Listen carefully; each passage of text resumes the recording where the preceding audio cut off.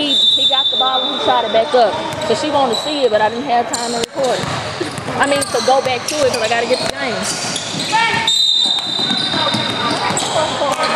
Yeah, I mean, because they gave us 14, and then all of a sudden they put it back. Yeah. I'm going to show it to you. Well, see, I guess after the game they won't.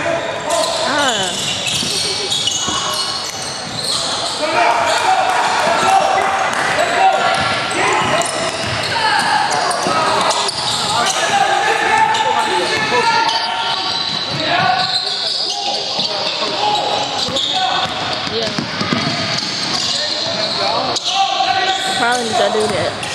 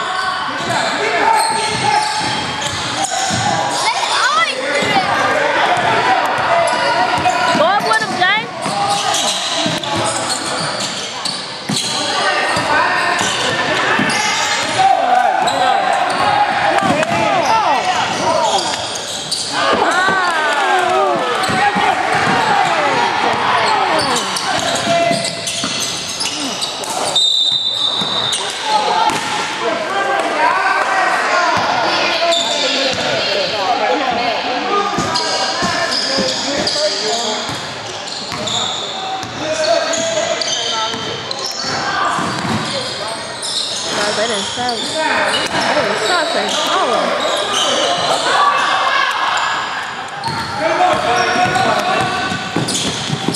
get the Jay. Jay, follow your shots. Follow your shot.